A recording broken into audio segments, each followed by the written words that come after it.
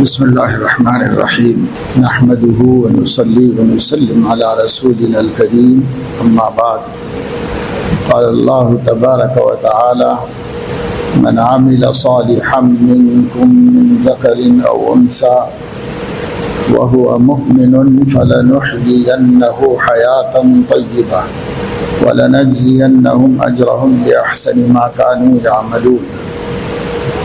صدق اللہ العظیم یہ ذی الحج کا مہینہ ہے اور اس مہینے میں حج جیسی عظیم عبادت ادا کی جاتی ہے اور قربانی جیسا خاص نسخ خاص عمل مقبول اور محبوب بارگاہ عمل انجام دیا جاتا ہے۔ تکبیر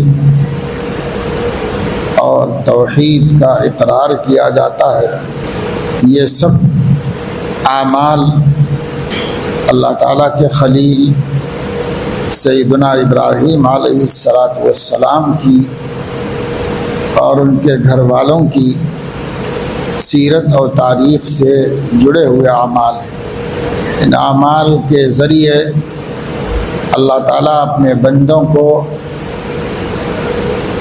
عقید توحید میں مضبوط کرنا چاہتا ہے اور اللہ رب العزت اپنے بندوں کو اپنے ذات عالی کی معرفت اور اس کی اطاعت و فرما برداری کا سبق سکھانا چاہتا ہے۔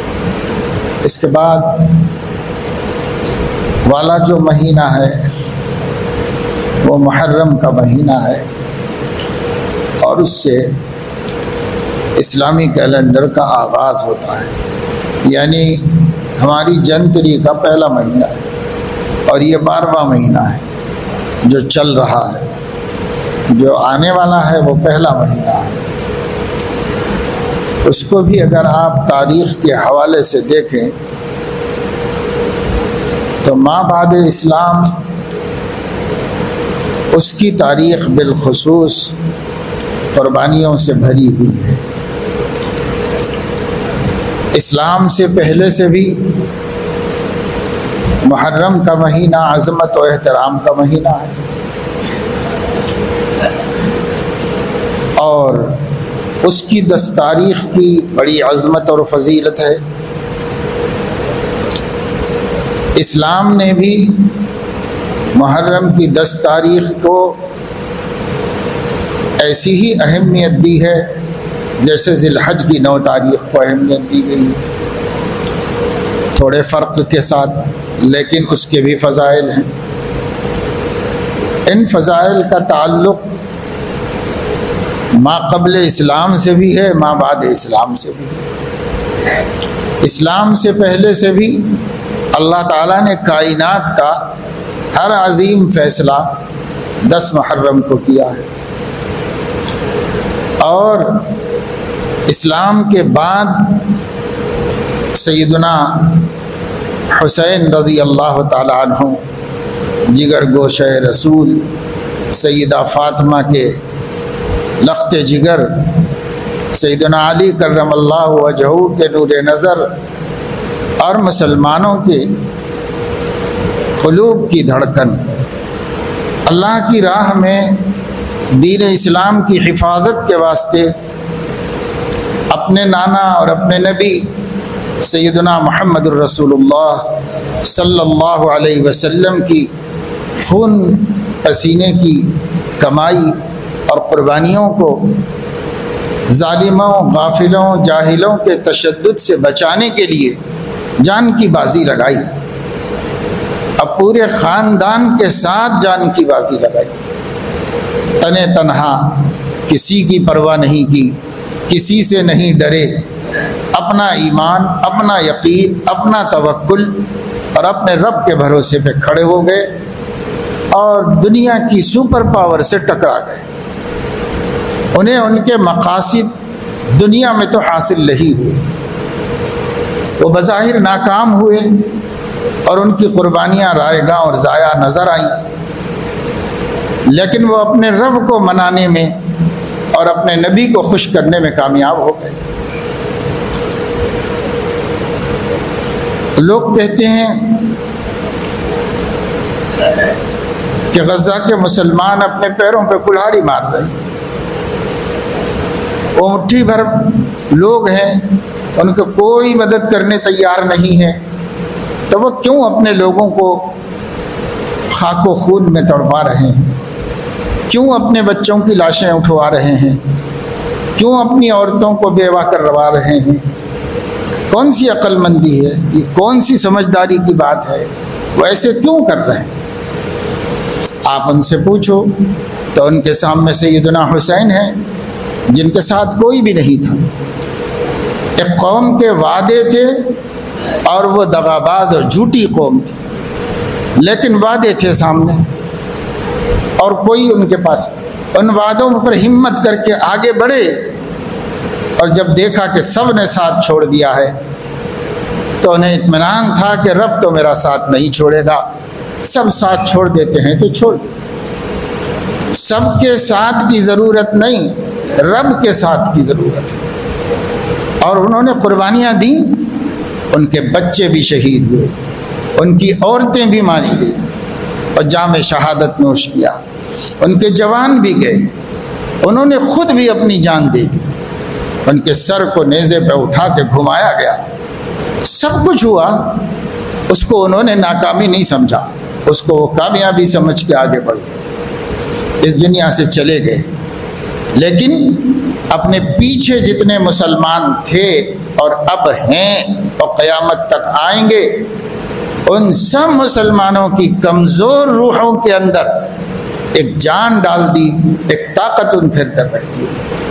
جب جب مسلمان کمزور ہوگا، تب تک وہ سیدنا حسین کو یاد کرے گا اور ان کی قربانیوں کو یاد کرے گا۔ اسلام زندہ ہوتا ہے ہر کربلا کے بعد۔ ایک کربلا قائم ہوگی اور دشمن مسلمانوں کے، مقدس لوگوں کے نیکوکاروں کے خون سے کھیلے گا۔ اور اس کے بعد اسلام میں زندگی اور تازگی آئی حضرت حسین یہ تاریخ رقم کر کے گئے۔ یہ واقعہ اللہ کے نبی صلی اللہ علیہ وسلم کی تشریف لے جانے کے کوئی نصف صدی کے بعد پیش آیا، پچاس برس کے بعد پیش آیا۔ اور تاریخ کا ایک سنہرا باب بن گیا۔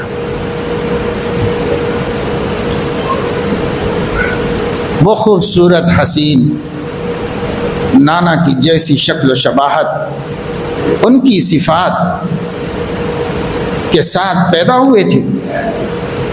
اور وہ پیارے با اخلاق و با کردار ہستیاں، جن کو بچپن نے نبی نے اپنے دانے بائیں کھڑا کر کے فرمایا تھا کہ ہما ریحانہ طیہ فی الجنہ۔ یہ دور یہ دونوں میرے جنت کے پھول ہیں۔ اور جن کے بارے میں اعلان کیا تھا، اللہ میں ان سے محبت کرتا ہوں۔ جو ان سے محبت کرے، آپ ان سے محبت کیجیے۔ تو اپنے نوازوں کی محبت کو خدا کی محبت کا وسیلہ اور ذریعہ بنا کر سکتے تو کون مسلمان ہوگا جس کے سینے میں حسنین کرام کی محبت نہ ہوگی اور ان کا دل ان کے نام کو پیار سے نہ لیتا ہوگا؟ لیکن انہوں نے بڑے ہو کر دونوں بھائیوں نے دو عظیم تاریخیں رقم کر دی۔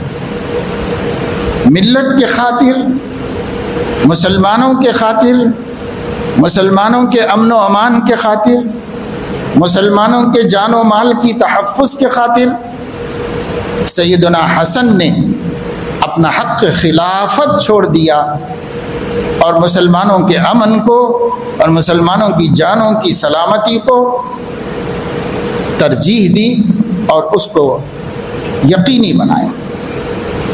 یہ ایک تاریخ ہے ایثار کی، یہ ایک تاریخ ہے قربانی کی۔ قربانی ایسے بھی دی جاتی ہے۔ آدمی چاہتوں کو اللہ کے بندوں کے خاطر، نبی کی امت کے خاطر قربان کر دے جی چاہ رہا تھا کہ تخت مجھے ملے، تاج مجھے ملے، لینا چاہتے تو حضرت معاویہ کے محل کے باہر میں تیس ہزار نوجوان ننگی تلواروں کے ساتھ حضرت حسن کو ان کا حق دلانے کے لیے تیار کھڑے۔ ایک جنگ ہو سکتی تھی، خوریزی ہو سکتی تھی۔ دونوں طرف کے خون بہ سکتے تھے، سر کٹ سکتے تھے، لیکن حضرت حسن کو خلافت مل سکتی تھی۔ ان کا حق تھا، ان کا جائز حق تھا، وہ ان کو مل سکتا تھا۔ لیکن انہوں نے اتنی بڑی قربانی دی کہ جان کی قربانی کی کوئی اہمیت نہیں۔ اتنی بڑی قربانی۔ انہوں نے سمجھوتا کر لیا، ایک معاہدے پہ دستخط کر دی۔ محض یہ سوچ کر کے کہ اگر میں بات آگے بڑھاتا ہوں اور اپنا حق وصول کرنا چاہتا ہوں، تو مجھے کرنے میں کوئی گناہ بھی نہیں ہے۔ اور ایسا کرنے میں میں بے قوت اور بے طاقت بھی نہیں ہوں۔ میرے ساتھ لوگ ہیں، لیکن نتیجہ کیا ہوگا؟ نتیجہ مسلمانوں کا خون بہے گا۔ میں مسلمانوں کا خون بہانا نہیں چاہتا۔ سیدنا عثمان غنی رضی اللہ تعالیٰ عنہ نے بھی یہی فرمایا تھا کہ آپ اپنے دشمنوں کو، باغیوں کو پکڑیے اور قتل کیجیے۔ حضرت عثمان نے فرمایا، میں نہیں چاہتا کہ میرا ہاتھ کسی مسلمان کے خون میں رنگی میں حالات سے گزر جاؤں گا، برداشت کر لوں گا اور حالات یہاں تک پہنچے۔ ان پر حملہ کیا گیا، ان کو شہید کیا گیا، ان کی بیوی زخمی ہوئی، لیکن انہوں نے ملت کو نقصان پہنچانا بھیجا یہ ملت نبی کی امانت ہے، ان کو نقصان نہیں پہنچو چاہے میرا کتنا نقصان ہو جائے۔ تو اپنا نقصان کر لیا، لیکن تلوار نہیں اٹھائی۔ ان لوگوں پر جو لا الہ الا اللہ۔ آج کیا کر رہے ہیں مسلمان؟ آج مسلمان روزانہ خبریں آ رہی ہے اور کوئی عدالت میں جا کر کے دیکھ لے۔ حیدرآباد کی عدالتوں میں دیکھ کتنے مسلمان کتنے مسلمان قاتلوں کے قتل کے کیسز چل رہے مقتول بھی مسلمان ہے، قاتل بھی مسلمان ہے۔ اللہ کے نبی صلی اللہ علیہ وسلم نے ارشاد فرمایا، اذا التقى المسلمان بسيفهما فالقاتل والمقتول كلاهما في النار. جب دو مسلمان ایک دوسرے کے خون کے پیاسے ہوتے ہیں تو جس نے مارا ہے اور جو مرا ہے دونوں جہنم میں جائیں صحابہ نے پوچھا کہ یا رسول اللہ، مارنے والا تو جہنمی ہو یہ سمجھ میں آتا، اب تک قاتل جہنمی۔ مرنے والا بیچارہ کیوں جہنم میں جائے؟ وہ تو مقتول ہو گیا۔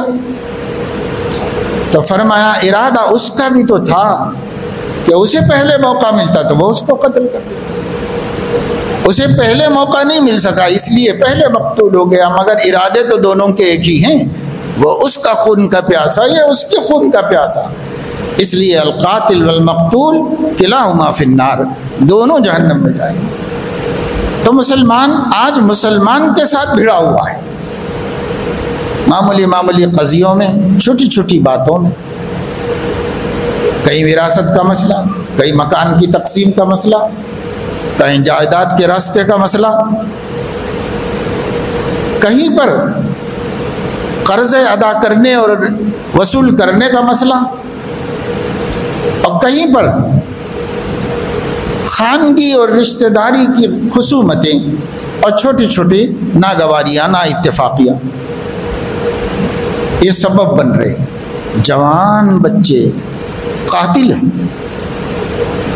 اور وہ واقعات کیا آپ کے سامنے دہرائیں؟ ہم مسلمان اپنے دانے بائیں کو دیکھنے سے اندھے ہو گئے۔ ہم مسلمان خود غرض ہو گئے۔ اپنا کیسے چلے گا؟ اپنی خواہشات کیسے پوری ہوں گی؟ اپنی انکم کیسے ہوگی؟ اپنے گناہوں کے جذبات کیسے ٹھنڈے ہوں گے؟ سب اس میں الجھے ہوئے ہوں۔ تو انہیں دانے بائیں سے کیا مطلب ہے کہ کس کا کیا ہو رہا؟ چاہے وہ رشتہ دار ہی کیوں؟ کوئی مطلب نہیں۔ سب سے آنکھیں بند کر کے ایک طرف دیکھو، اگر کم سے کم آدمی اپنی آخرت بھی دیکھ لیتا تو بہت اچھا۔ آخرت سے بھی کوئی مطلب نہیں۔ دنیا دنیا دنیا، پوری زندگی اس دنیا کو سنوارنے میں اس دنیا کو بنانے میں، اس دنیا میں خواہشات پوری کرنے میں، اس دنیا کے اندر حلال و حرام کی تمیز کے بغیر اپنے اغراض کو پورا کرنے میں زندگی بندہ گزار رہا ہے۔ اسے کیا کسی کی تکلیف کا احساس ہوگا؟ بہرحال، ہمارے سال کا اختتام، قربانی کی تاریخ اور خونی تاریخ پر ہوتا ہے۔ اور ہمارے کیلنڈر کا اور سال کا افتتاح اور اس کی ابتدا قربانی کی تاریخ اور خونی تاریخ پر سے ہوتی محرم ہمیں قربانی کی تاریخ سکھاتا ہے ذلحج ہمیں قربانی کی تاریخ بتاتا ہے۔ سیکھو اپنے نفس کے لیے قربانیاں دینا، جانور کو بھی آتا ہے۔ اپنے رب کے لیے قربانی دینا یہ ایمان والوں کا کام جن کو خواہشات سے زیادہ عزیز ان کا رب ہے، اس کی خوشی ہے۔ اور جن کو اپنی چاہتوں سے زیادہ پیارے اس کے نبی ہیں اور حضرت محمد صلی اللہ علیہ وسلم کی ذات عادی۔ ہے وہ اگر ناراض ہوتے ہیں تو ہر خوشی قربان کی جا سکتی ہے ان کو ناراضی سے بچانے کے لیے۔ اور اگر وہ خوش ہوتے ہیں، تو خوش کرنے کے واسطے ہر قربانی دی جا سکتی سیدنا عمر فاروق رضی اللہ تعالی عنہ اپنی خلافت کے زمانے میں ان کا ایک باغ تھا۔ غنیمت میں ملا تھا۔ اللہ کے نبی صلی اللہ علیہ وسلم کا دیا ہوا تھا۔ مدینہ منورہ میں، شہر کے باہر۔ خیال ہوا کہ ذرا باغ کو دیکھ لیں۔ وہ انہوں نے قول پر دیا ہوا تھا۔ پیداوار آتی تھی، لیکن جا کر کے دیکھ لیں کیا حال ہے۔ دیکھنے کے لیے گئے۔ اس زمانے میں اونٹ پہ سوار ہو کے کہیں جانا ہوتا تھا۔ وہی سواری تھی۔ گئے، دیکھا بھالا جو وہاں کام تھا وہ کر لیا۔ واپس آ گئے۔ واپس آنے آنے تک لوگ عصر کی نماز پڑھ کر مسجد سے نکل رہی تھی لوگوں نے سمجھا کہ حضرت گئے ہوئے کام سے۔ شاید نہیں آئیں گے، نماز پڑھ کے آتے ہوں گے۔ مقامی لوگوں نے نماز پڑھ لی۔ جب امیر المومنین پہنچے تو دیکھا کیا کیا بھائی اثر پڑھ چکے ہو کہاں اثر ہو چکی۔ عصر کی نماز ابھی تو ہوئی ہے۔ ابھی وقت باقی ہے کہ آپ عصر کی نماز پڑھ لیں۔ قضا تو نہیں ہوئی، چھوٹ تو نہیں گئی۔ لیکن انہوں نے انا للہ پڑھی۔ مسجد میں گئے، عصر کی نماز ادا کی۔ اور اس کے بعد لوگوں کو بلایا اور ان کو اعلان فرمایا۔ کہ لوگوں، گواہ رہو کہ جس باغ کی محبت نے عمر کی جماعت چھڑوا دی ہے، اس باغ کو میں مسلمانوں پر صدقہ کر دیا اس باغ کو صدقہ کر دیا لاکھوں کا آج کے زمانے میں کروڑوں کی پراپرٹی۔ سیدنا عمر رضی اللہ تعالیٰ نے ایک جماعت کے چھوٹنے پر اللہ کو راضی کرنے کے لیے خیرات کر دی، قربان کر دی۔ کہ بھائی ایک جماعت سے نہیں پڑھ سکا میں نماز، اللہ مجھے یہ نذرانہ قبول کر کے معاف کر دے۔ وہ ایمان کیسے بنا تھا؟ وہ یقین کیسے پیدا ہوا تھا؟ ان کے دل میں اللہ کا مقام اتنا اونچا کیوں تھا؟ اور ہمارے دل میں اتنا بھی کیوں نہیں پیدا ہو سکا کہ کم از کم فرض نماز چھوڑتے ہوئے ڈر لگے اللہ تعالیٰ کا اتنا بھی کیوں نہیں پیدا ہو سکا ہمارے ان کا ایمان ان کو کیا سکھا رہا ہے اور ہمارا ایمان ہم کو کیا سکھا رہا ہے؟ ہمیں غور کرنے کی ضرورت ہے۔ سوچنے کی ضرورت ہے۔ کتنی عورتیں ہیں، ہفتوں نماز نہیں پڑھتی، ان کو کان پہ جو بھی نہیں رہی۔ نماز ہی نہیں پڑھتی۔ پروئی نہیں ان کو نماز پڑھنے بس، کچھ گھرانے ضرور ہیں۔ جہاں ایسا ماحول بن گیا ہے کہ مرد عورتیں سب نماز پڑھ لیتی۔ لیکن اگر آپ اپنے خاندان اور سماج پر نظر ڈال کے دیکھو، تو کتنے گھر ملیں گے ایسے جہاں ہفتوں نماز نہیں ہوتی گھر کے کوئی عورت نماز نہیں پڑھتی۔ ان کو نماز کی ضرورت ہی نہیں ہے۔ یعنی ان کا ایمان نماز کو کچھ سمجھتا ہی نہیں ہے۔ ہر حال میں وہ مومن ہے چاہے نماز بھی نہ پڑھیں۔ ایسے کتنے گھر ہیں، کتنے مسلمان ہیں، دکان میں بیٹھے ہوئے ہیں، کتنے کاریگر ہیں، کتنے ویلڈر ہیں، کتنے الیکٹریشین ہیں، کتنے موٹر میکانک ہیں، کتنے اے سی میکانک ہیں، کتنے آٹو چلانے والے ہیں، کتنے آپ ہر طبقے پر نظر ڈال کے دیکھو، اس میں نمازی کتنے ہیں اور بے نمازی کتنے ہیں۔ آپ کو اندازہ ہو جائے گا۔ کیوں اللہ اپنے بندوں سے روٹا ہوا ہے، ہم اللہ تعالیٰ کے مدد نہ کرنے کو تو دیکھتے ہیں اور شکوہ بھی کرتے ہیں اور ہم کو اس پر اعتراض بھی ہے۔ لیکن ہم خود اللہ کے ساتھ کیا کر رہے ہیں؟ اس کو کبھی دیکھنا بھی نہیں چاہا ہم نے۔ کہ ہم دیکھیں تو صحیح کہ ہمارا کیا سلوک ہے اللہ کے ساتھ؟ بندہ بندہ بن کر نہیں رہنا چاہتا۔ پھر بھی خدا خدا ہے اور وہ برابر ہماری پرورش کر رہا ہے اور ہماری ربوبیت کا حق ادا کر رہا ہے۔ اب اللہ کو ہم سے شکایت ہونی چاہیے کہ ہم کو اللہ سے شکایت ہونی چاہیے۔ اس لیے یہ جو کچھ ہمارا ماحول ہے، ہمارے ماحول میں جو تاریخ ہے، ایک ایک مہینہ گزرتا ہے اس کے بارے میں کچھ نہ کچھ ہمارے سامنے آتا رہتا ہے۔ یہ اللہ تعالیٰ تاریخ کو پلٹتے رہتے ہیں تاکہ بندوں کا ایمان کمزور نہ ہو جائے۔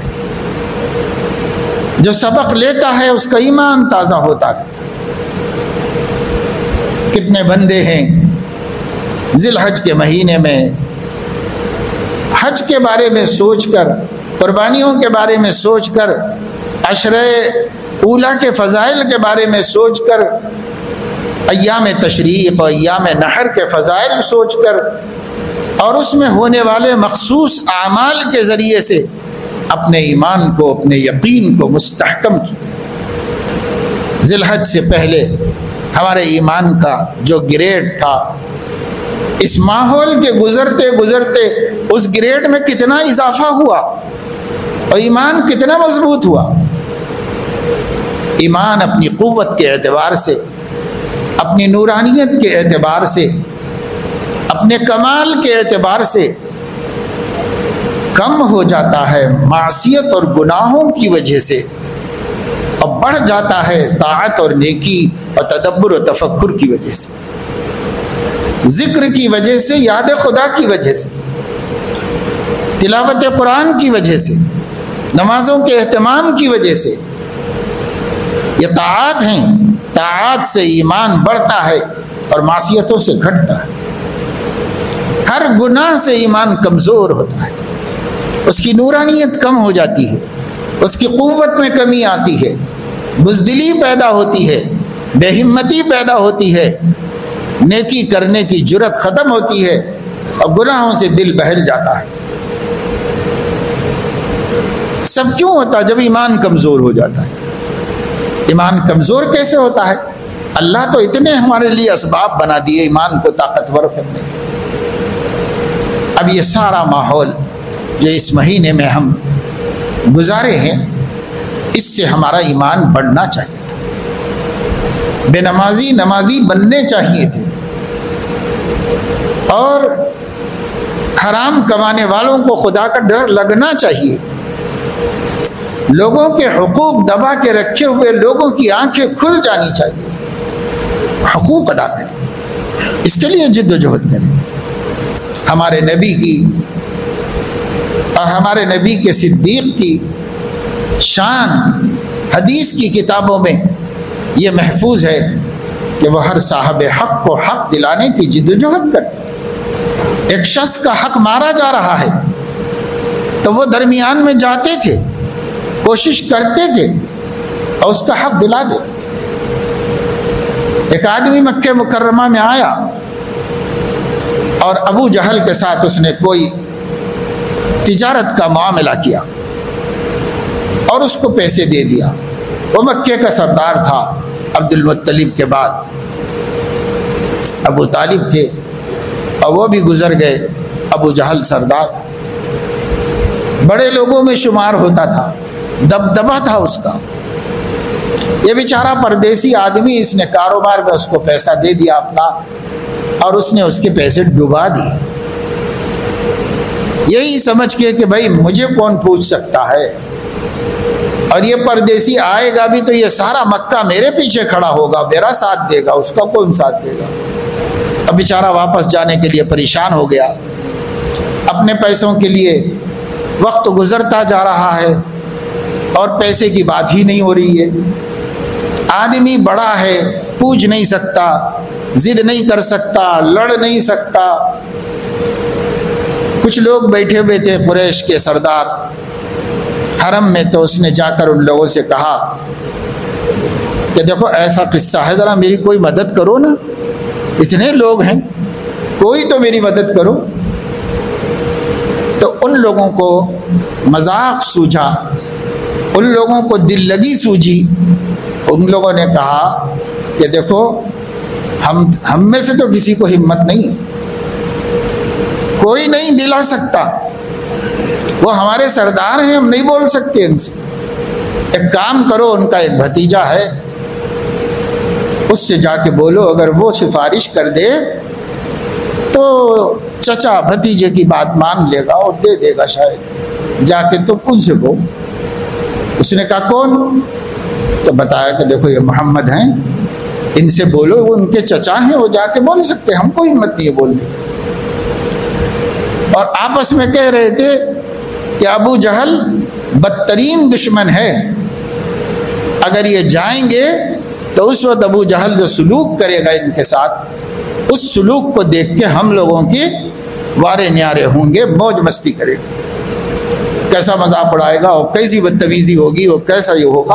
اور سب بیٹھے رہے، اس کو بھیج دیا حضور علیہ السلام کے پاس۔ اس نے جا کر اپنی بپتا سنائی۔ وہ رحمت للعالمین تھے۔ وہ کھڑے ہو گئے کہ چلو میں بولتا ہوں چچا سے۔ پتہ نہیں دے گا نہیں دے گا، لیکن میں بولنے کا کام تو کرتا ہوں۔ سفارش تو کر دیتا ہوں تمہاری لے کے گئے حضور علیہ السلاۃ والسلام وہ گھر میں سے نکلا۔ دیکھتے ہی آنکھ بگولا ہو گیا۔ غصے سے بھی پڑ گیا کہ کیا؟ کہا، یہ صاحب کے پیسے آپ باقی ہیں۔ دے دیجیے، بیچارہ مسافر پریشان ہے۔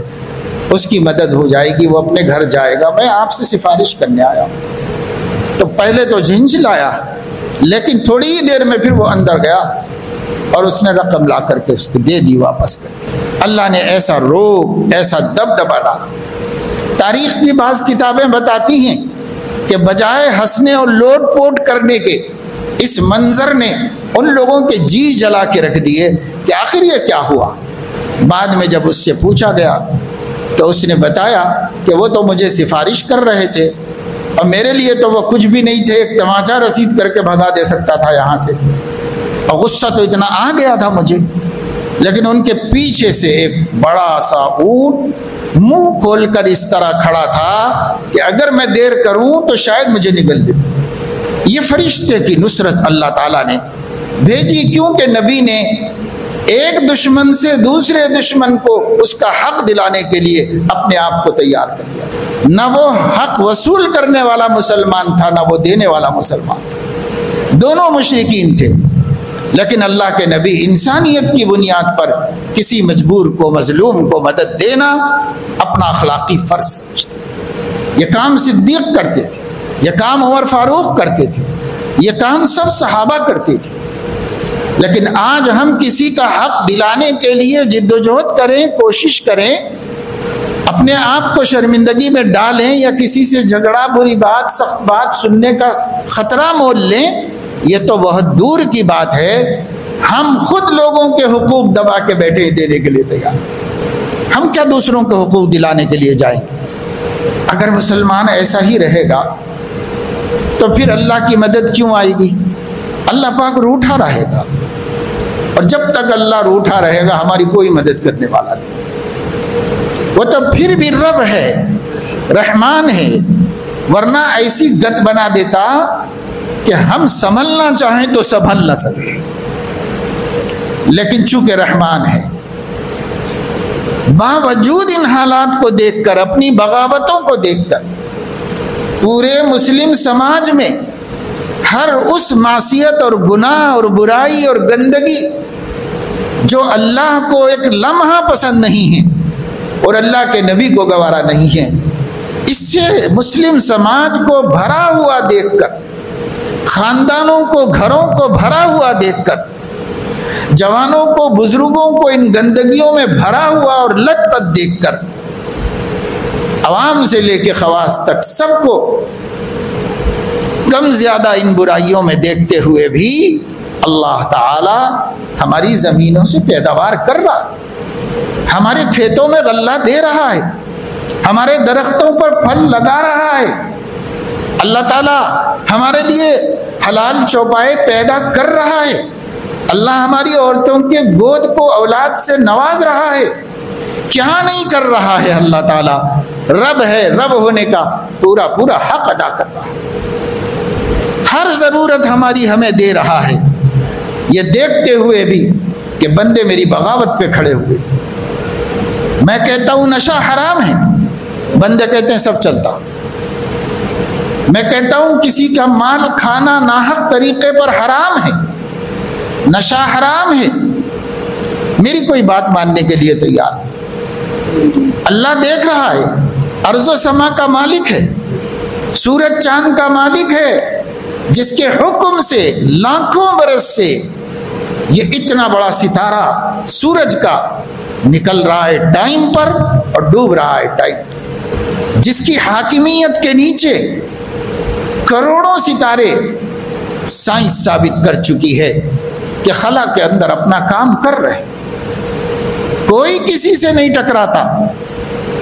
اگر ایک بالش بھر جگہ سورج کی ٹوٹ کر زمین پر گر جائے تو زمین کے اس سیارے کے اندر کچھ بھی باقی نہ رہے۔ سب آبادیاں اور جل جائے اور سمندر خشک ہو جائے۔ اتنا رسکی اور خطرناک ستارہ روزانہ مشرق سے نکل رہا ہے اور مغرب ہمارے سروں پہ سے جا رہا ہے۔ ہمیں ڈر نہیں لگا۔ کسی دن ڈر نہیں لگا۔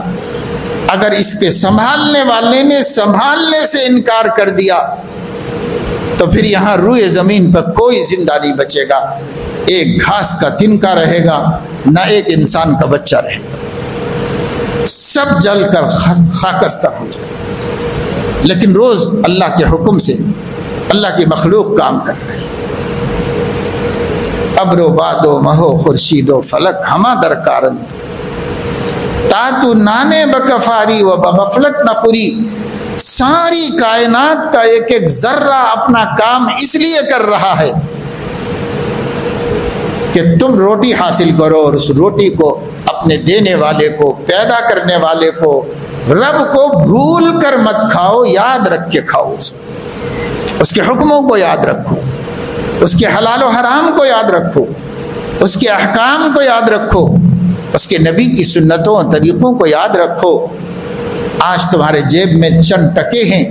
تو تم خدا بن کے مت بیٹھ جاؤ۔ مجھے کون روک سکتا ہے؟ مجھے کون منع کر سکتا ہے؟ میرا پیسہ ہے۔ میں شراب پیوں گا، میں بھنگ کھاؤں گا، میں نشہ کروں گا، میں سگریٹ پھونکوں گا۔ کون مجھے منع کرتا ہے؟ میرا پیسہ ہے، مجھے کون روکتا ہے؟ آج تم خدائی کو اختیار کیے ہو چند ٹکوں کے نشے میں؟ بہت بڑا ہے خدا، اور بہت قوت والا ہے خدا۔ لیکن وہ کہہ رہا ہے، لو يعجل الله للناس الشر استعجالهم بالخير لقضي اليهم اجلهم اگر اللہ وہ جلدی کرے جو جلدی تم کر رہے ہو، عذاب کی، اللہ کی پکڑ کی، اللہ کے مواخذے کی، جس چیز کی تم کو جلدی ہے، اگر اللہ بھی جلدی کرے، لقضی علیہم اجلہم، کچھ باقی نہیں رہے گا سب فنا کر کے رکھ دے گا اللہ چونکہ اس کی پکڑ اتنی خطرناک ہے، تو وہ اپنی پکڑ کو کنٹرول میں رکھا ہوا ہے۔ اور پکڑ نہیں کر رہا ہے، کیونکہ کرے گا تو چھوٹی موٹی نہیں ہے۔ ہم سمجھ رہے ہیں کہ اللہ اگر پکڑ سکتا تو مجھے کیوں نہ پکڑتا۔ اگر اللہ روک سکتا تو مجھے کیوں نہ روکتا۔ ہم یہ سمجھ رہے ہیں۔ لیکن اللہ یہ کہہ رہا ہے، بندے سب برباد ہو جائیں گے، اس لیے میں اپنے غصے کو روکا ہوں۔ میں اپنی پکڑ کو روکا ہوا ہوں۔ رو، چھوڑ دوں گا تو اتنی چھوٹی موٹی نہیں ہے جو کوئی مقابلہ کر سکے۔ دنیا میں کوئی طاقت وجود میں نہیں آئی جو اللہ تعالیٰ کے مقابلے پہ کھڑی ہو سکتی کوئی بھی نہیں، یہ ڈھیل ہے اللہ کی۔ یہ اللہ کی ڈھیل ہے، یہ چھوٹ ہے اس کی۔ اس چھوٹ کا ناجائز فائدہ مت اٹھاؤ۔ میرے عزیزوں، دوستوں، نوجوانوں، بزرگوں، زندگی کتنی ہے؟ اس زندگی پہ اعتماد مت کرو۔ جو زندگی پہ بھروسہ کر رہا ہے وہ ہوا پہ ٹیک لگانے کی کوشش کر رہا ہے۔ ہوا کسی کو ٹیکا نہیں دے گی اور آدمی گرے گا اور برباد ہو جائے گا۔ زندگی پہ بھروسہ مت کرو۔ زندگی ایک دن ختم ہو جائے گی۔ نیک کی بھی، بد کی بھی، مومن کی بھی، کافر کی بھی، چھوٹے کی بھی، بڑے کی بھی زندگی ایک دن ختم ہو جائے۔ کتنی زندگی ہے؟ اس پہ بھروسہ کر کے اپنے مالک، اپنے خالق کو ناراض کرنا۔ کسی سمجھ کی، سمجھدار کی بات نہیں تو برائے بندگی ہے یاد کر بہر سر افغندگی ہے یاد رکھ۔ چند روزہ زندگی ہے یاد رکھ۔ ورنہ پھر شرمندگی ہے یاد رکھ۔ ہم کچھ بھی تو نہیں یاد رکھیں دوسروں کو دیکھ رہے ہیں۔ محلوں میں، بستیوں میں۔ جاؤ، کتنے لوگ ہیں۔ نظام صاحب کے بچی بچائے۔ محلات کو دیکھنے جاتے ہیں۔ فلک نما پیلس دیکھ کے آئے گی۔ جاؤ جا کے دیکھو، آج بھی شان بان کے گواہ بنا ہوا ہے پیلس کہ کیسی شان بان رہی ہوگی۔ اس کا گواہ بنا ہوا ہے۔ چو محلہ پیلس دیکھنے جاؤ۔ خلوت کے محلات دیکھنے کے لیے جاؤ۔ آج بھی بچے ہوئے ہیں، باقی جو باقی ہے، وہ بھی ان کے حشم، خدم۔ اور ان کے بڑے پن تمول تعیش کا نشان بنے ہوئے۔ لیکن کیا کر دیکھ کے کوئی سبق حاصل کریں دیکھ کے کوئی عبرت حاصل کرے؟ کون کرے گا؟ جب دیدے بینا ہے ہی نہیں۔ دل کی آنکھیں اندھی ہو گئی۔ کچھ نظر نہیں آ رہا ہے۔ جو کچھ دکھائی دے رہا ہے وہ فریب ہے۔ اور وہ اسکرین پر چلنے والے مناظر ہیں، اس کے پیچھے کی حقیقت سے بے خبر ہے۔ کچھ بھی نہیں دیکھ رہا ہے۔ دیکھو، اللہ نے دیکھنے کے لیے فرمایا، سیرو فی الارض فنظروا کیف کان عاقبت المجرمین۔ زمین میں گھومو پھرو اور دیکھو کہ مجرموں کا انجام کیسا ہوا۔ غافلوں کا انجام کیا ہوا۔ کیا ان کی دنیا انہیں کام آئی؟ کیا ان کی حکومت ان کو کام آئی؟ کیا ان کا تخت و تاج ان کو عزت دے سکا؟ کیا ملا؟ دیکھو زمین پر گھوم پھر کر کے۔ موت کے سامنے سب نے ہتھیار ڈالے۔ موت کے آگے کسی کی حکمرانی نہیں چل سکی۔ کسی کا غرور نہیں چل سکا۔ فرعون بھی بے بس تھا، نمرود بھی بے بس تھا۔ جب موت سامنے کھڑی ہوئی تو ہاتھ جوڑ کر کے اپنے آپ کو قدموں میں ڈال دینا کوئی مقابلہ نہیں کر سکا ہو کوئی مقابلہ نہیں کر سکے نہ رستم، نہ سکندر، نہ دارا، نہ ہٹلر، نہ مسولینی۔ دنیا کا کوئی بڑے سے بڑا فرعون، اس نے ہر ایک کا مقابلہ کیا ہوگا۔ چالیس چالیس لاکھ مسلمانوں کی لاشیں جس نے خود لی ہیں، وہ بھی فرشتہ ملک الموت کے سامنے بے بس ہو گیا۔ بے بس ہو جانا پڑتا ہے، ہونا پڑے گا، پھر خدا کے سامنے کھڑے نہ پڑے۔ کسی کو مفر نہیں، کوئی نہیں بچ سکتا۔ اب بے ایمان نہ مانے نہ مانے، بھائی ہم ایمان والے کیوں نہیں مان رہے؟ ہم لوگ کیوں نہیں اس میں غور کر رہے ہیں؟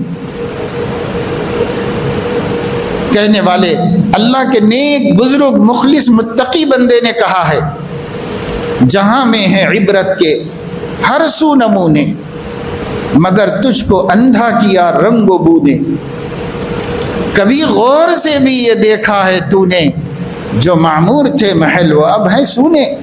دیکھو کنگ کوٹھی جا کر کے۔ دربار حال دواخانہ بنا ہوا ہے اور ہر دن تباہ ہوتا جا رہا۔ جس میں خود رہا کرتے تھے۔ وہ ان کا اپنا زنان خانہ، زنانہ محل، وہ کھڈر بن چکا ہے۔ ابھی بھی ہے۔ دیکھو، جہاں میں ہے عبرت کے ہر سو نمونے دیکھو، آنکھیں کھولو۔ جو آباد محلات تھے، کہاں چلے؟ ختم ہو گئے۔ ایک حکمراں آتا ہے۔ پچھلے حکمراں کی جائیدادوں کو قرق کر کے، ختم کر کے نیا محل تعبیر کرتا ہے۔ ہر ہر کے آمد عمارت نو ساخت۔ وہ اس کا دشمن ہے، وہ اس کا دشمن ہے، مگر موت تمہاری دشمن ہے۔ سب کی دشمن ہے، کسی کو چھوڑنے والی نہیں۔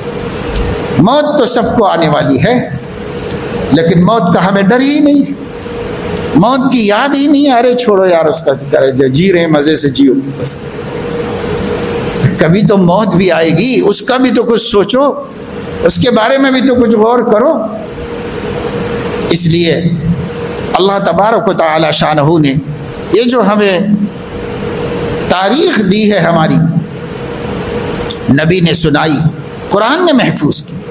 حضرت ابراہیم کی تاریخ قرآن میں محفوظ ہے۔ اللہ نے خود ان سچے واقعات کو بیان فرمایا۔ نحن نقص علیک احسن القصص۔ وطل علیہم نبع بنی آدم بالحق۔ سب سچے قصے، سچی باتیں، ہو بہو۔ اس روئے زمین پر جو پیش آئے واقعات مغروروں کے اور عاجز بندوں کے، انبیاء کے اور انبیاء کے مقابلہ کرنے والوں کے، قرآن میں موجود ہے۔ قرآن پڑھو گے تو نہ پتہ چلے گا۔ قرآن سمجھیں گے تب نہ پتہ چلے گا کہ قرآن میں کیا ہے۔ قرآن کریم کو پڑھیے، سمجھیے۔ اب قرآن کریم کو پڑھنے کی بات کہی جاتی ہے، سمجھنے کی بات کہی جاتی ہے، تو ہر آدمی سمجھانے کے لیے کھڑا ہو جاتا ہے۔ یعنی وہ خود ہی مفسر بن جانا چاہتا ہے۔ ارے بابا، اپنی ہدایت کے واسطے اپنے نیک بننے کے واسطے، اپنے ایمان کی حفاظت کے واسطے، اپنا گناہوں کو چھوڑ کر نفس و شیطان سے آزاد ہونے کے واسطے پڑھو قرآن۔ اپنے لیے جس کو دو حروف آئے، وہ دوسروں کے لیے ہو گیا ہے۔ اپنے لیے کچھ نہیں چاہیے اس کو۔ وہ سب دوسروں کے لیے کر رہا ہے، جو بھی کرنا ہے اس کو۔ خود جو کا تو ہے، اپنے وہی گناہ، وہی زیادتیاں، وہی بدعنوانیاں، وہی گھریلو جھگڑے اور وہی غرور، وہی تکبر، وہی دلوں کے اندر بغض و عناد۔ مسلمانوں سے عداوتیں سب بھری ہوئی اپنے لیے نہیں پڑھ رہا ہے، دوسروں کو بتانے کے لیے پڑھ رہا ہے۔ اپنے لیے پڑھنا ہے بھائی، ہماری ہدایت کے لیے اترا ہے حدل للمتقین ہے۔ اگر ہمیں کو نہ ملے ہدایت تو کیا فائدہ ہے؟ اس لیے قرآن کے جو ترجمے ہمارے معتبر علماء نے لکھ دیے ہیں۔ اب پڑھنا آتا ہے اردو تو پڑھو، نہیں پڑھنا آتا ہے تو کسی جاننے والے کو دوست بناؤ اور اس کے ساتھ بیٹھ کر سنو۔ کوئی پڑھے اور کوئی سنے۔ مگر اس کا سلسلہ جاری کرو۔ اب لوگوں نے ایک نیا فیشن نکال رکھا ہے۔ وہ یہ ہے کہ چھ گھنٹے میں ہم قرآن فہمی سکھا دیں گے، پندرہ گھنٹے میں ہم تم کو قرآن پورا یاد کرا دیں گے۔ اور اتنے دنوں کے کورس کر لو تو تم خود مفسر قرآن بن جاؤ گے۔ یہ سب فیشن ہے۔ آپ کو آپ کی زبان میں، مادری زبان میں معتبر علماء نے لکھ کے دے دیا ہے، پڑھ کے اپنی زندگی درست کرو نا۔ یہ سب لے جا کے کہاں قبر میں بتانے والے ہو؟ قبر میں فرشتہ اعمال کو پوچھے گا۔ حشر میں اللہ اعمال کے لیے ترازو کھڑا کرے گا۔ اس کی کوئی پرواہ نہیں ہے۔ اس کی طرف دھیان، توجہ نہیں ہے۔ تو بس ایک طرف ہم کوشش کرتے ہیں کہ قوم جاگے، تو دوسری طرف نام نہاد اسکالرس کھڑے ہو کر کے وہ جگنے والوں کو بھی دوسرے خانے میں لے جا کر کے ڈال دیتے ہیں۔ ان کے بھی ذوق بدل دیتے ہیں، ان کے بھی خیالات کو تبدیل کر دیتے ہیں۔ اور ٹوٹل کیا ہوتا ہے؟ رزلٹ کیا نکلتا ہے؟ رزلٹ یہی ہے کہ صاحب، نہ ان کو دین کی فکر، نہ ہم کو دین کی فکر، نہ قوم کو دین کی فکر۔ اپنی آخرت کی کوئی فکر نہیں کر رہا ہے۔ اپنے آپ کو بدلنے اور درست کرنے کی کوئی فکر نہیں کر رہا ہے۔ یہ بڑا مسئلہ ہے اس دور کا اور بڑی مصیبت ہے مسلمانوں اس لیے ارادہ کریں کہ قربانی کے اس مہینے کے گزرتے گزرتے اور قربانی کے اس مہینے کے آتے آتے ہم لوگ طے کر لیں کہ یہ دین قربانیوں سے زندہ رہتا ہے، فرد کا ہو یا سماج کا۔ سماج بھی قربانیاں چاہتا ہے، مسلم سماج۔ اور ہمارا دین، اکیلے کا دین بھی قربانی چاہتا ہے۔ ہم لوگ قربانی کا یہ سبب جو اللہ نے دیا ہے، اسے اچھی طرح یاد رکھیں گے۔ اور پورا سال ایسے گزاریں گے کہ جہاں قربانی کی ضرورت ہے اپنے رب کی خوشی کے واسطے اور اپنے نبی کا کہا ماننے کے واسطے قربانی سے پیچھے نہیں ہٹیں گے، قربانی دیں گے۔ کیا قربانی دیں گے؟ بکرے کاٹتے رہیں گے۔ وہ تو تین دن تھا، قصہ ختم اب اگلے سال آئے۔ اب کیا قربانی دیں گے؟ اب قربانی نفس کی دیں گے کہ یہ جانور جو اندر بیٹھا ہوا ہے، یہ اللہ تعالی کی ماننے نہیں دیتا۔ یہ نبی کا کہنا ماننے نہیں دیتا۔ اس جانور کو قربان کریں گے، یہ ایک کروڑ جانے لے کر آیا ہے۔ جتنی دفعہ آپ قربان کریں گے، پھر زندہ ہوگا۔ پھر قربانی دیں گے، پھر زندہ ہوگا۔ پھر قربانی دیں گے، پھر زندہ ہوگا۔ یہاں تک کہ موت آئے گی۔ اس لیے بزرگوں نے فرمایا کہ جو راہ خدا کا شہید ہے، وہ ایک دفعہ جان دیا ہے۔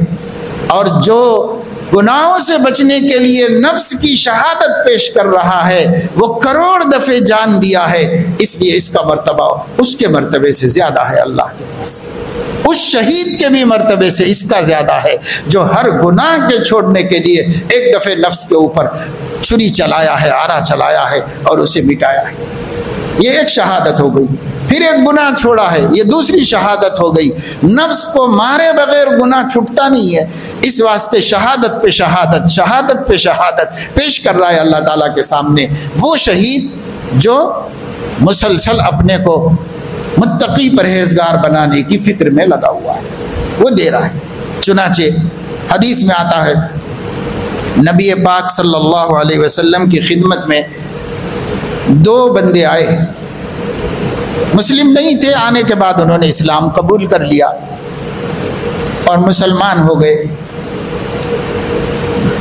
اس کے بعد اس میں سے ایک بندہ لشکر جا رہا تھا، دشمنان اسلام سے جہاد کے لیے۔ تو اس لشکر میں شریک ہو کر کے جہاد میں چلا گیا۔ وہاں گیا، اللہ تعالیٰ نے اس کی جان قبول فرما لی، شہید ہو گیا وہاں۔ مومن تو تھا اور سیدھے سے جہاد میں چلا گیا۔ مسلمان بنتے ہی۔ اور وہاں جا کر کے شہید بھی ہو گیا۔ کام ہی بن گیا اس کا سب۔ اور وہ جو دوسرا والا تھا، وہ ساتھی اس کا، وہ ایک سال اور زندہ رہا۔ ایک سال کے بعد اس کا انتقال ہوا۔ شہادت تو نصیب نہیں ہوئی، انتقال ہو گیا۔ صحابہ گھر کی موت کو بڑی معیوب موت سمجھتے تھے۔ فخر کرتے تھے راہ خدا کی موت پر۔ اب گھر میں مرا کیا عورتوں کی طرح مر گئے۔ ایسے اس کو کم عیب دار موت سمجھتے تھے۔ صحابہ اب صحابہ میں سے کسی صحابی نے خواب میں دیکھا کہ بعد میں، ایک سال بعد میں مرنے والے صحابی وہ پہلے جنت میں گئے ہیں۔ اور جو ایک سال پہلے شہید ہو گئے تھے، وہ بعد میں جنت میں گئے۔ ایسا منظر ان کو خواب میں نظر آیا۔ انہوں نے اس خواب سے تعجب کیا۔ الٹا ہونا چاہیے تھا۔ شہید پہلے جنت میں جانا چاہیے تھا۔ یہ بیچارے گھر میں مرے ہیں، انتقال ہوا ہے۔ یہ بعد میں جانا چاہیے تھا۔ اپنے اس تأثر کے مطابق نبی کے پاس آئے اور حضور علیہ السلاۃ والسلام کے سامنے یہ بات رکھی انہوں نے۔ ایسا خواب دیکھا۔ تو فرمایا کہ تم کو تعجب ہوا۔ تعجب کی تو کوئی بات نہیں، ایسے ہی ہونا چاہیے تھا۔ اس میں تعجب کیا ہوا تمہیں؟ پھر آپ نے فرمایا کہ دیکھو، جو شہید ہوا، بے شک ایک بہت بڑا مرتبہ شہادت کا اسے ملا۔ لیکن جو بعد میں انتقال کیے ہیں، انہوں نے ایک سال میں اتنی نمازیں پڑھی ہیں۔ ایک سال میں اتنے روزے رکھے ہیں۔ یہ خیراتیں کی ہیں۔ یہ دین کو زندہ کرنے کے لیے نبی کی نصرتیں کی ہیں۔ گناہوں سے بچنے کے لیے اتنے مجاہدے کیے ہیں۔ اللہ تعالیٰ کے فرائض کو زندہ کرنے کے لیے اتنی تکلیفیں اٹھائی ہیں۔ یہ ایک سال کا ریکارڈ اس کا، اس بات کا ثبوت ہے کہ اس کو ہی پہلے جنت میں جانا چاہیے۔ اور وہ آج مسلمان ہوا آج شہید ہو گیا۔ تو ایک کام یہ کیا کہ ایمان لایا اور دوسرا کام یہ کیا کہ اللہ کے نام پہ جان دے دیا۔ تو دو ہی عمل تو ہیں اس کے پاس۔ اور اس کے پاس ایک سال کے اعمال۔ اسی وجہ سے علماء فرماتے ہیں، کسی کو بھی موت کی تمنا نہیں کرنی چاہیے۔ زندگی ہی کی تمنا اور دعا کرنا چاہیے۔ البتہ اس اس اہتمام کے ساتھ کہ وہ زندگی نیک کاموں میں استعمال ہو جائے۔ حضور اکرم صلی اللہ علیہ وسلم سے کسی نے پوچھا کہ یا رسول اللہ ای الناسی افضل؟ سب سے اچھا مسلمان کون ہے؟ من طال عمرہ وحسن عمل جس کی لمبی زندگی ملی اور اچھے کاموں کی توفیق ملی۔ نیک کاموں کی توفیق کے ساتھ لمبی زندگی جس کو ملی، نبی نے اس کو لوگوں میں بہترین آدمی قرار دیا۔ قسمت والا ہے۔ عمر بھی لمبی ملی اور نیکی کی توفیق بھی ملتی رہی، گناہوں سے بچنے کی توفیق بھی ملتی رہی۔ ایسی زندگی۔ موت مانگنے کا تو حکم نہیں۔ ہے تو یہ جو زندگی ہے، اس کی قیمت قدر پہچان لے۔ اللہ نے اب جو بھی ہمارے لیے مقدر رکھا، جانتا ہی نہیں کوئی کہ کتنا باقی۔ لمحے بھی ہو سکتے، منٹ بھی ہو سکتے گھنٹے بھی ہو سکتے، ایام بھی ہو سکتے، ہفتے بھی ہو سکتے، مہینے بھی ہو سکتے، برس بھی ہو سکتے، مگر کہیں تو جا کے بات ختم ہو جائے گی۔ کہیں تو جا کے ختم ہو جائے گی۔ کسی کو نہیں معلوم کہ کتنی باقی زندگی ہے۔ بھائی، بہت مختصر سمجھ کر کے اس باقی زندگی کو، اپنے رب کو بغاوت کرنے کے بجائے بندگی کا ثبوت دیتے ہوئے آجزی کے ساتھ توازوں کے ساتھ، نبی کی مان کر، نبی کی سنتوں پہ چل کر اپنے آپ کو دکھا کر اللہ کے سامنے جائیں تاکہ اللہ تبارک و تعالی شانہ جب ہمیں ہمیں دیکھے تو خوش ہو جائے، ناراض نہ ہو جائے۔ اللہ تعالی ہم سب کو توفیق عمل نصیب فرمائے۔ ہماری آخرت کو بنانے کی، فکریں کرنے کی سب کو توفیق نصیب فرمائے۔ اور اللہ تعالی ہر غفلت سے امت مسلمہ کی حفاظت فرمائے۔ آمین و آخر دعوانا